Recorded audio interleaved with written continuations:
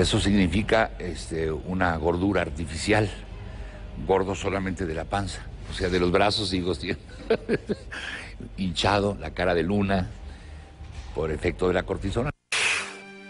Angelines Fernández, la bruja del 71, se retiró debido a complicaciones físicas, siendo ella quien más lamentó haberse encasillado en ese inolvidable personaje. Angelines Fernández era una mujer enteramente e intensamente melodramática de las telenovelas, solo que ahora la gente solo la recuerda por La Bruja del 71. Angelines murió en 1994 a causa de un enfisema pulmonar. María Antonieta de las Nieves fue la única que no se desligó de su personaje. Continuó, previa autorización de Chespirito, encarnando a la pícara chilindrina, lo que le redituó fuertes ganancias, aun cuando su físico ya no correspondía al de una niña. Ya no es la la niña de ocho años que, que podía ser la chilindrina. ¿Ya no es apta para representar a la chilindrina? No, ya no.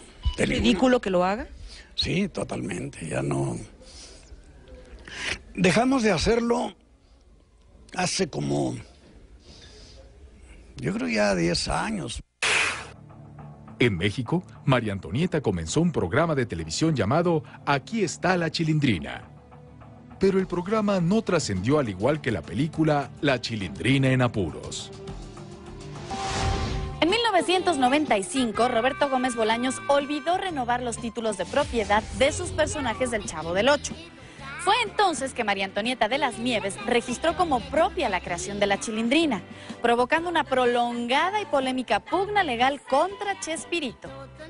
En el 2000, Roberto Gómez Bolaños fue homenajeado por Televisa a él acudieron decenas de invitados, siendo uno de ellos Carlos Villagrán, Kiko.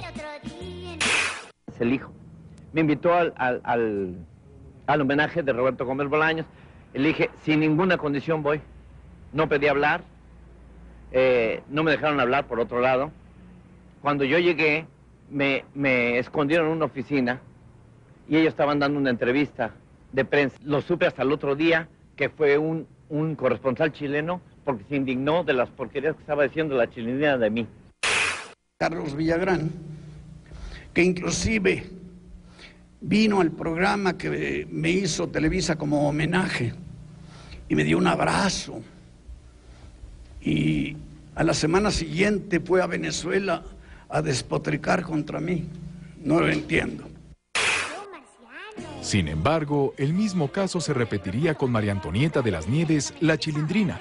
En 1995, la actriz acudió al Registro Nacional de Derecho de Autor, donde se enteró que el título de derechos del personaje de la Chilindrina había expirado y que no había sido renovado por Roberto Gómez Bolaños.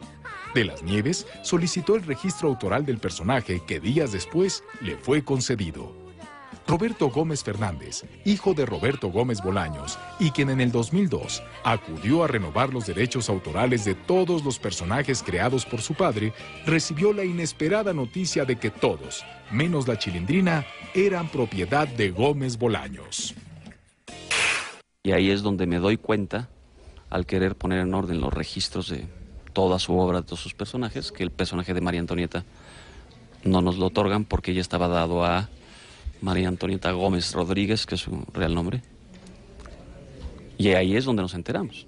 Eh, a partir de ahí, inocentemente, fuimos a, con María Antonieta a solicitarle que todo siguiera igual, nada más que pues devolviera lo que no era suyo, que devolviera el personaje a Roberto Gómez Bolaños. Obviamente se negó. Intentamos otro acercamiento, siguió negándose y es cuando entonces ejercemos acción legal. Me dijo, tenemos que llegar a un arreglo y, pues el arreglo era que yo no iba a hacer nada y que no podía trabajar y que públicamente tenía que dar una disculpa de que me había robado el personaje y que tantas cosas que para mí son incoherencias. Este, y ahí fue donde no se llegó a ningún acuerdo. Actuó de mala fe porque existe un documento firmado por ella de su puño y letra en el que reconoce que la autoría, la titularidad de todos y cada uno de los personajes que integran la serie El Chavo del Ocho y especialmente aquel denominado La Chilindrina corresponde única y exclusivamente a Roberto Gómez Bolaños. ¿Tú crees que si yo le digo, Chespirito está libre el personaje, lo puedo registrar, ¿me va a dejar? No soy tan tonta para decirle, Chespirito, perdón, tu hermano se olvidó volver a registrarlo, porque era su hermano que se dedicaba a eso.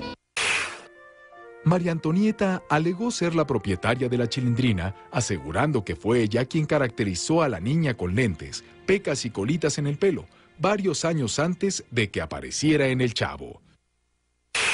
Es obligación del actor revestir al personaje y aportar todo lo que pueda para que salga bien, pero eso no lo convierte en propietario del personaje. En respuesta, la actriz fue demandada. La demanda no debieron haberme la mandado a mí, sino al registro de derechos, porque lo que están pidiendo es la nulidad de mi reserva de derechos, de la chilindrina. A mí no me piden nada, solo que deje de hacer la chilindrina, cosa que es imposible. Moralmente sabemos que no es mío, hombre, ese es un robo. Pese a la demanda, Roberto Gómez Bolaños no impidió que María Antonieta continuara caracterizando a la chilindrina. Por el contrario, únicamente le pidió a la actriz una disculpa y el reconocimiento de su autoría, cosa que no sucedió. Ella es la que me debía pedir, ni siquiera permiso, porque ya se lo doy, de por el antemano, ahí lo tiene permiso. Me debía dar una disculpa, es lo que debía hacer. Esto es un mal agradecimiento, una falta de lealtad. Él puede usar a la chilindrina cuando quiera. Y yo doy mi palabra que nunca moveré un dedo, un dedo por afectarlo, jamás. Pero, por tranquilidad de ellos, tienen que acudir a mi abogado para dar la autorización por escrito. Que si yo quisiera usar en algo a la chilindrina, tendría que pedirle permiso a ella. Si la ley, al final de cuentas, determina que no puedo, pues no lo hago, pero pedirle permiso, pues este, me muero de risa, ¿no? Eso no lo haría yo nunca.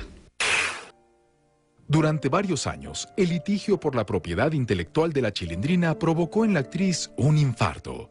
El 21 de octubre de 2006, Roberto Gómez Fernández, heredero en vida del patrimonio autoral de su padre, lanzó la serie animada de El Chavo del Ocho, excluyendo a la chilindrina.